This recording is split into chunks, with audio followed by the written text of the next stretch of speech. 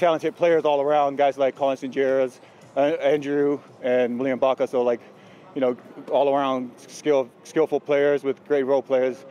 That you know they they they they're here to perform well, and they've upset teams before, and they're you know they're not to be overlooked.